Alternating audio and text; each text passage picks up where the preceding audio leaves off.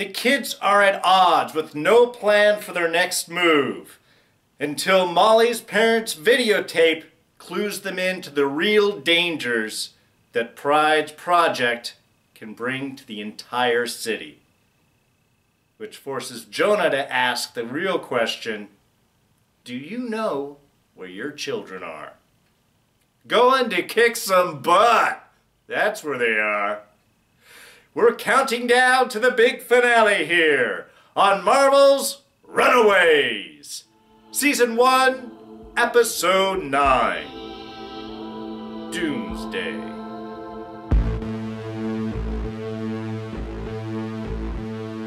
Hey everyone, D here, and welcome back to our continuing coverage of Season 1 of Runaways. So, yes, spoilers. I know, they're coming. I say this every time. Alright, so episode 9, Doomsday, does start back off, as many of the episodes have, with our flashback. And here we are flashing back to the Hernandezes and that fateful night of their death. Their basic discovery that uh, the, the, the samples that they dug out of the giant hole well, it's not giant at this point. They were just sort of sussing out what it is that uh, Jonah wanted them digging into over on Geoffrey's estate there.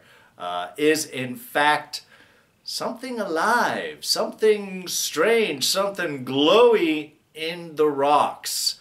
Uh, and definitely not something that they should have found out uh, because what they quickly discover is a big beeping bomb on the floor which ends up blowing them all to hell.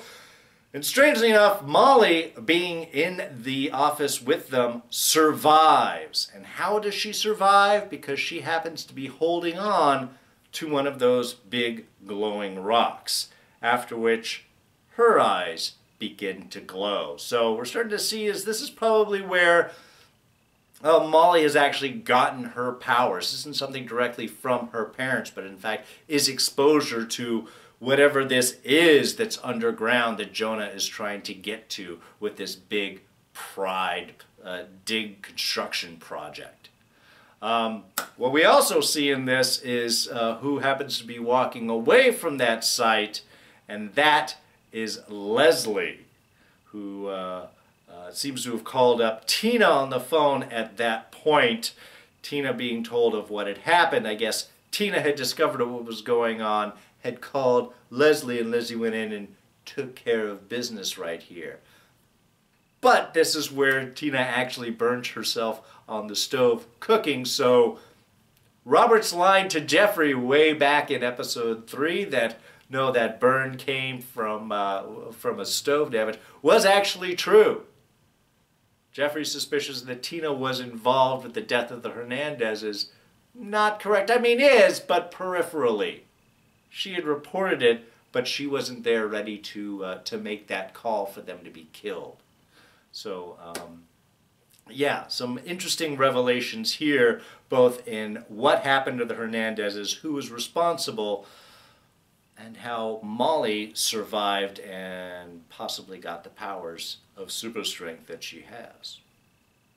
Now, as for the kids nowadays, they're kind of in a tough spot. Now that Chase destroyed Alex's computer, which had the videotape they've been trying to get that had the evidence the uh, on their parents, and that's destroyed, there's no way of recovering. They didn't back up. The hard drive's trashed, so they're kind of stuck in a bad position with no plan going forward and huge schisms amongst many of the, the members of, well, the Runaways, as Alex decides to go ahead and give a title in honor of all of the kids that were killed that couldn't be saved. So, again, a dark title to your group, which no one really seems to be grabbing onto, though, since it is the title of the show, we know it will eventually sort of catch on with them. Um, however, when you've got no plan, then you might as well dance.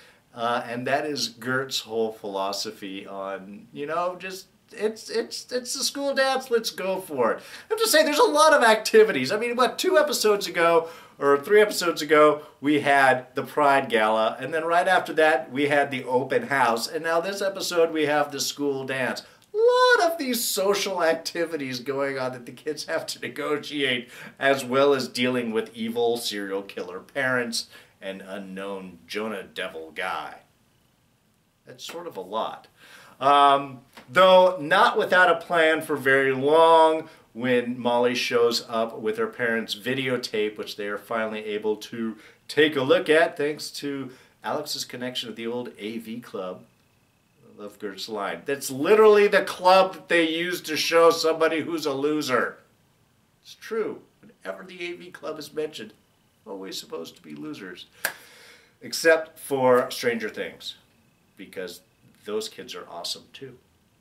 Uh, anyway, but what we finally see on the videotape is, is that underneath uh, the construction site where the Pride is building, is supposedly the school, there is a hidden fault. If they dig down in there, it could potentially release a devastating earthquake for all of Los Angeles.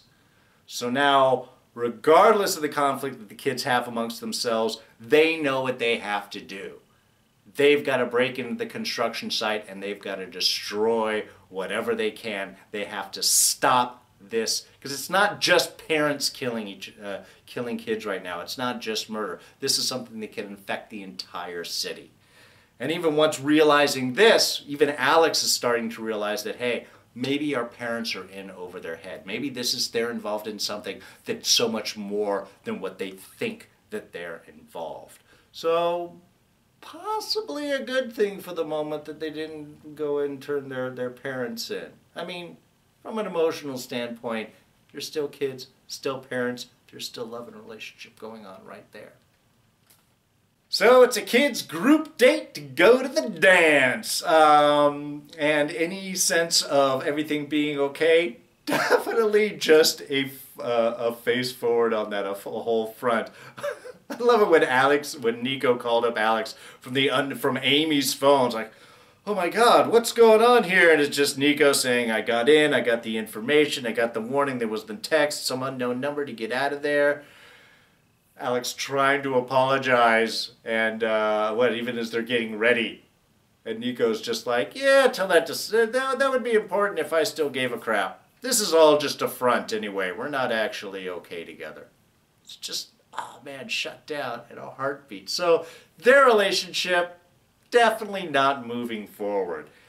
However, Gert and Chase, that definitely is moving forward here. Uh, yeah, I gotta say, Gert looked really nice.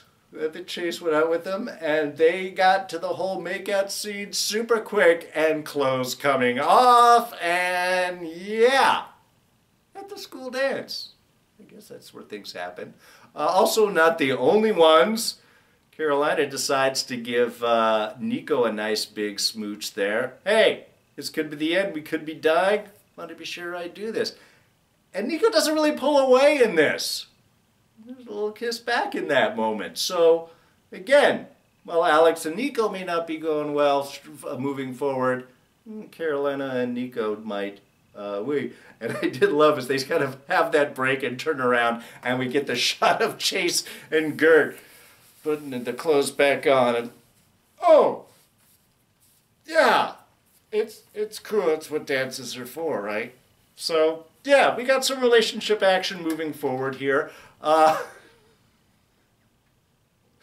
but also still maybe I don't know. I think Gert's kind of concern and worry and stuff gets the better of her. Sometimes she should just let things go and not necessarily push because, was it, an hour later when they're at the construction site and Gert is asking Chase, like, we haven't really defined our relationship yet. Haven't we done this? I mean, and Chase is like, that was like an hour ago.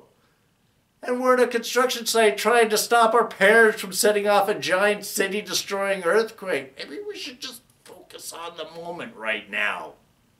I worry so much about the whole relationship thing. Uh, so, yeah, some good relationship stuff moving forward, but you know, there's still stuff to work out. Uh, anyway, heading to the construction site, uh, that was a whole interesting sequence. We're seeing that Darius has been camping out there, maybe losing his relationship with uh, his baby mama. I can't say wife or girlfriend. I don't really know what their relationship was. They're definitely having a kid together. Uh, but Darius is a little obsessed about this, watching what's going on.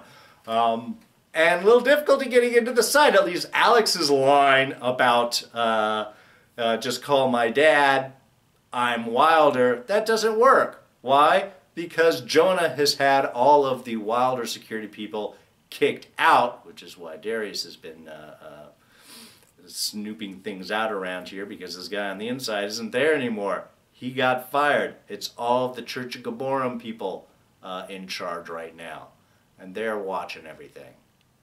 Uh, where Karolina is able to just step up and say like, Hi, well why don't you call my dad? Which I was wondering if the guard was going to actually do.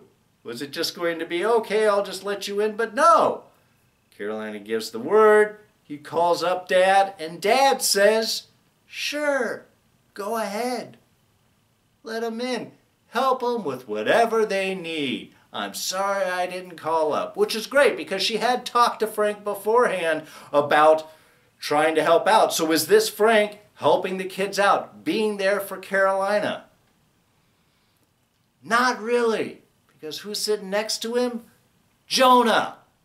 Seems like uh, Jonah and Frank have sort of worked things out. Frank had his little confrontation earlier in there, confronted Jonah, wants to know what is happening and what's going on. Uh, and it seems to be that is how Jonah was able to tell the rest of Pride what all the kids were doing. When he goes through the whole story about, you know, there was the kids' riots and that caused the weekly news to come up with it's 10 p.m. Do you know where your children are? Well, children are heading in to destroy the, uh, the construction site. And how does Jonah know all of this stuff? How does Jonah know? Because Frank told him. Karolina told Frank everything Frank confronted Jonah, and so Frank then told Jonah everything, because now Frank and Jonah are buddy-buddy. Relationship with Karolina is going to be completely secondary at this point. So now Pride knows where the kids are, they know the plan, and that leads to our epic confrontation by the end of the episode, which was just beautiful. I mean, we got the kids in there trying to destroy. Speaking of Gert and Chase, when they did figure out there has to be an off button, and there does seem to be a big red, can you press this and it will stop everything. Chase doesn't even let Gert press it. Just pulls out the fistigons and boom, boom, which does seem to stop things. It set an alarm off for sure. But my worry about that was actually is, well, have you just destroyed the controls that you needed to turn things off? And just by destroying them, does that turn things off or does that just prevent you from turning things off? I was wondering if they're going to go that way. Uh, Gert, or uh, sorry, Molly using her super strength to go and push a cement truck down into the hole. That was pretty badass looking. Um, but of course, before they can do much of anything else, that's when the parents show up. Well, we had, what, uh, Nico using the staff. Fill the hole and everything's going. It's like, oh my God, is that going to work? And then pulls out with the line, you know, if you'd kept training with me, I would have shown you how to do that. So I guess the staff really is linked to Tina more uh, than Nico they share the same blood in some ways, the same genetic markers, um, it certainly seems to be listening more to Tina, who can also use the staff without actually touching it. So again, interesting stuff. But it was just, it was a beautiful sort of little face-off going on right there with Molly saying, we will fight you if we have to. And just the, the perfect double lineup there. I mean, again, great uh, um, Great way to end the episode, great cliffhanger. You've got the evil parents all lined up, ready to fight, and then you've got all the kids lined up. You got Molly with the glowing eyes, you got Gert with the dinosaur, you got Chase with the fistigons, and you got uh, uh, Karolina pulling off her bracelet and just going to the whole glow thing. It was like this was the power kind of face off that we've been wanting to see from the beginning. So perfect way to end the episode and get us ready for the big finale. Oh, and just real quick, I did love the scene between Stacey and Dale when uh, Graciela calls them saying that Molly was missing and they sort of figure out, oh, we didn't get the key. Wait, the Hernandezes left or something. Why? Because they didn't trust us. They thought we could fail. No, they made it towards, they were concerned just in case because they, they knew what they were up against because they failed. So they thought that we could fail. So yeah, good for that, you know. it was just, it was a great kind of just moment of realizing, oh my God, they didn't trust us but they took chances. They took they they they they came up with ideas in case things fell apart because that's what happened with them. In case it would happen with us, so they don't get it for their. It was just again, I loved just the the whole sequence. It was just sort of a fun realization of they're not as trusted as they think they are, and yet things are moving in a better direction than they hope. That this this lack of trust may actually be helping get them out of this really bad situation they definitely want to get out of. All right, so one more episode to go in season one, but that is going to wrap us up for this review. Thank you so much for joining me. You know what you can do if you liked it? Go ahead and hit that like button. Share with your friends and hit the like button. Thoughts, ideas, and comments, just drop those right down in the section below can always catch me on Twitter and Instagram right here at Darrin Jaques. Hit this button to subscribe. Check out other videos with this buttons right here. All right, so that's going to be it for me. I'm D, and I'm out of here. See you guys next time. Bye-bye.